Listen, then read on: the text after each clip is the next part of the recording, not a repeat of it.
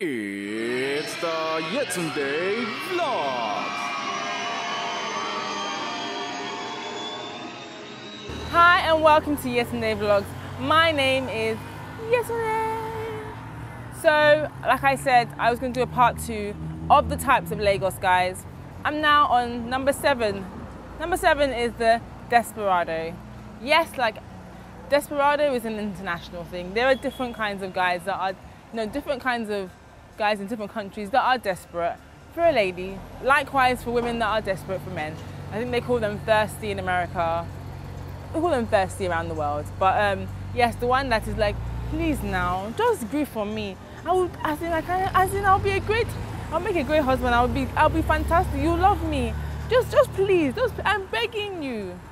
That's the number eight, which is a bit of a contrast to the desperate guy, is the cool guy, the suave guy, the chilled out guy, the not I don't have anything bad to say about this kind of guy because he's just too cool.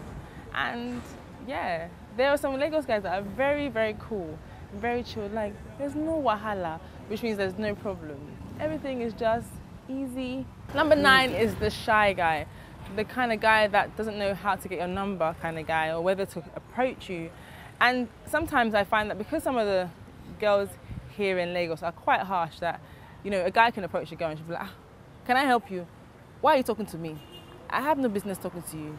That kind of thing. So guys do have it hard here as well. So you can't blame some guys for being a bit shy and a bit, you know, reserved when it comes to trying to approach a girl. And I think it's hard in any sense of the word, but Nigerian women are very strong kind of women, very straightforward. So number 10 yes. is the passport finder.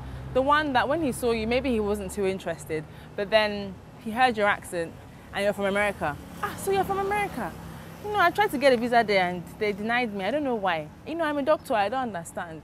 Maybe, you know, I can take you out for some dinner and maybe the one that he sees the potential in what you have and wants to join you in that potential. Number 11 is the gold digger.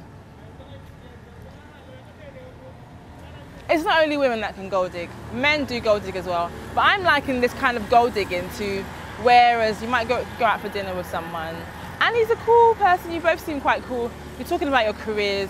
He's telling you that, you know, he's working as a junior, maybe in a junior position in a law firm.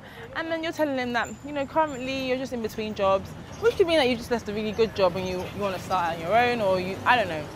But you're in between jobs. So right now, you know, you're on a tight budget and whatever. And all you hear is him saying, please, check please.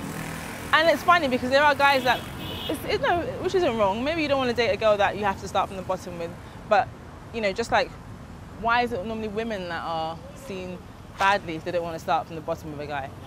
Just saying, but I'm just saying that it happens with girls. They don't want a girl that they are that isn't doing that well. So, and number 12 is the complete guy, the dream guy, the makes your heart beat kind of guy, which anyone can meet anywhere in the world, but you know, you can also meet them here in Lagos. So me talking about the different kinds of Lagos guys doesn't mean that I'm bashing guys at all, at all. There are really amazing guys here as well. I just wanted to share that with you guys. I put the list together with my fiance and I thought it would be, be fun to kind of share it with you guys. And I hope you guys liked it.